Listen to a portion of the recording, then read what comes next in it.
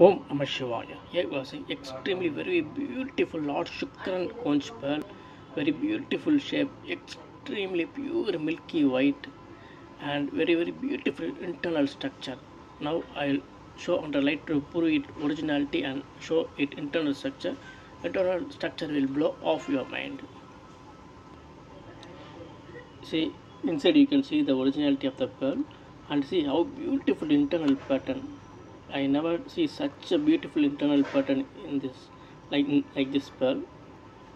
It is pure weight is for Lord Shukra and same pearl can also take for Lord Chandran also for moon. Beautiful pearl. See how originality it is. Amazing, mind blowing. Now I show the internal structure. It was totally mind blowing pearl. Unbelievable. Om Namah Shivaya, Om Namah Shivaya, Om Namah Shivaya. By having this pearl with you, definitely you will get very huge success in your life. It will give excellent business, very good happiness in family life, gives very good health to you and all your family members. It's a, such a wonderful, amazing pearl.